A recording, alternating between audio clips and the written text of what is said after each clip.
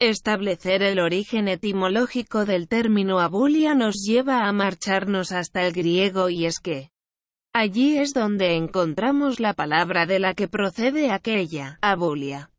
Un vocablo este que está conformado por tres partes claramente diferenciadas, el prefijo a que equivale a sin, la palabra boile que es sinónimo de voluntad, y finalmente el sufijo ia que puede traducirse como cualidad o acción. De acuerdo a lo expresado en el diccionario de la Real Academia Española, RAE, la abulia es la falta de voluntad o la disminución notable de su energía.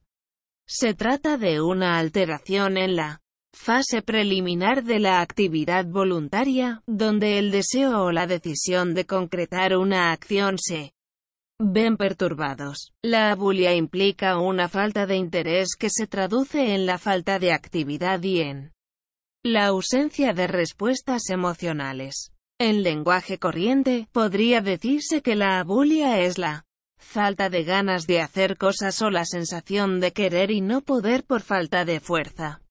Cuando una persona sufre de abulia, experimenta un deterioro de la voluntad de actuar que se refleja como indecisión y en un sentimiento de impotencia. El afectado siente apatía e indiferencia por aquellas cuestiones que antes le generaban satisfacción. Pero no solo eso, otros síntomas claros de que Alguien padece de abulia son, una absoluta pasividad, la falta de todo tipo de movimiento espontáneo, o el hecho de que haya llevado a cabo una reducción palpable del tiempo que dedicaba a sus hobbies o pasatiempos, a sus relaciones sociales o a la espontaneidad. Un ejemplo concreto de abulia es aquel caso donde un individuo siente que cualquier otro día será mejor que hoy, por lo tanto, se limita a esperar la llegada de ese día y mientras tanto no toma ninguna decisión ni pone en práctica ninguna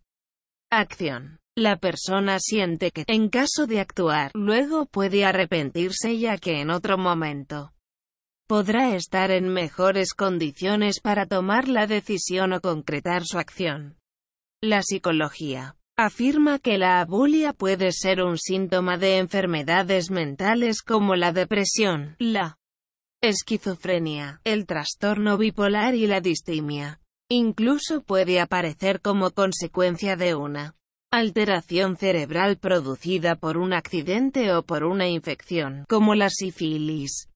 La distimia anteriormente citada, también es conocida como trastorno distímico y se caracteriza por ser un trastorno afectivo crónico que trae consigo que quien lo padece no solo se sienta triste, solo melancólico sino también con muy baja autoestima. De origen genético parece ser que es aquel que, además se puede ver acentuado por falta de estímulos o incluso por un absoluto desarraigo insomnio, falta de apetito, fobia social, cansancio sin justificación, pesimismo, problemas de memoria o incapacidad para concentrarse y tomar decisiones son algunos de los síntomas que vienen a dejar. Patente que alguien sufre de distimia y como consecuencia también de abulia. El uso de medicamentos es el tratamiento más habitual que se utiliza para tratar este trastorno afectivo que también se aborda mediante psicoterapias.